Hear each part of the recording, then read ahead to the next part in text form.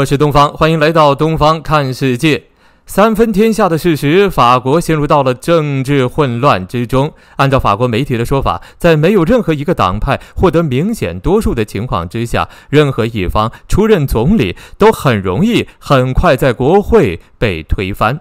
这就意味着法国在短期之内成为了一个很难治理的国家，因为法国还不像德国，德国左右翼经常联合执政，默克尔的基民盟和左翼的社民党就多次合作，但是法国没有这个传统，左右相互对立，更有极左翼和极右翼在旁边喊打喊杀的。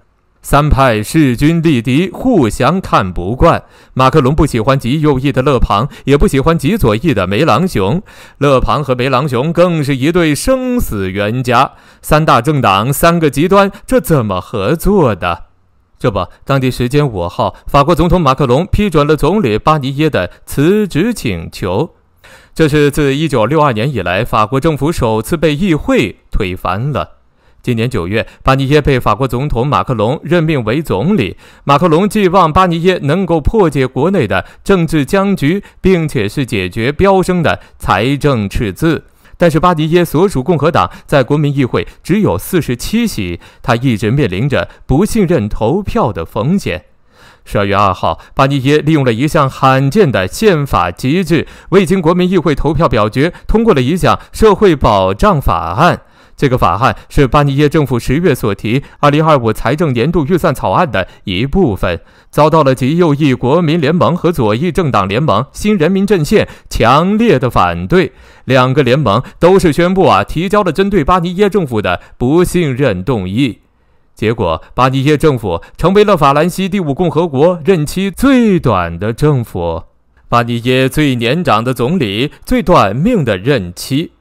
有分析就指出，巴尼耶的遭遇并不是个例。由于法国政党格局碎片化加剧，各党的立场差距大，马克龙第二任期以来任命的政府都遭到过弹劾。巴尼耶被弹劾下台之后，法国政局又将会迎来不确定期。根据法国宪法，提前选举之后一年之内，总统是不能够再次解散议会，因此要到明年七月之前，法国都不会有新的选举。马克龙需要任命一位新的总理来接替巴尼耶，但是什么样的人选能够被议会内部立场差距巨大的各政党所接受？争执不下的预算案又将以什么样的方式出炉呢？对于巴尼耶政府如此迅速的垮台，法国的国内外是掀起了一片批评的声浪。不少人是瞄准了马克龙啊，部分的反对派人士就批评马克龙导致了当前的政治困境，并且要求他辞职。此外，国外的一些媒体也痛批马克龙。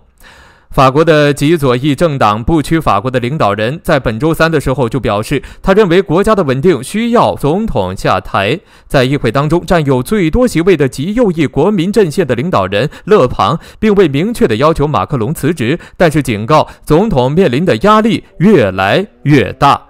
德国的《柏林日报》也认为，法国政治危机的唯一出路就是要让负责人下台，马克龙必须要辞职，把位置留给新人。意大利的《晚邮报》也表示，马克龙主义已经死亡，他压制对手并且向中间靠拢的策略曾经在两次的总统选举当中奏效，但是面对社会危机和对总统的不信任加剧，这个策略彻底崩盘了。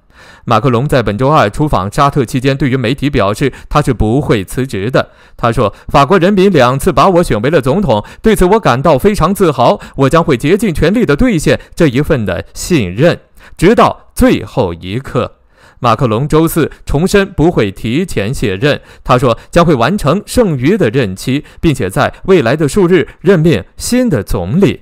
不过，民调显示，希望马克龙辞任总统的民众还是占多数。瑞士的观察报就质疑，马克龙的民意支持率跌至了历史最低点。他所在的党派在今年的立法选举当中败北，反对派又在国民议会当中占据多数。这种情况之下，他执政还有什么意义呢？更何况，宪法禁止他寻求连续三届总统，这是否进一步的削弱了他的总统合法性？他提前辞职并举行总统选举，是否反而更符合民主精神呢？根据报道，应马克龙的邀请，美国当选总统特朗普将会出席七号举行的巴黎圣母院重新开放仪式。马克龙不愿在内阁缺失的情况之下与特朗普来会面，这将会关系到法国的声誉。巴尼耶政府因为不信任投票而下台，其实并不让人意外。首先，法国现任政府实际上就是总统马克龙为了掌控政府而临时拼凑出来的，缺乏坚实的政治基础。其次，巴尼耶政府在政策上也不讨好。以预算案为例，巴尼耶既想要体现马克龙的政策特点，又不得不考虑改革可能会招致一些政党和民众的反对，结果他平衡没找着，反倒成了受夹击的对象。现在很有可能，马克龙会任命一个技术官僚政府。这个政府不以推进任何重大的政治议程为目标，以便在遇到不信任投票时能够存活下来。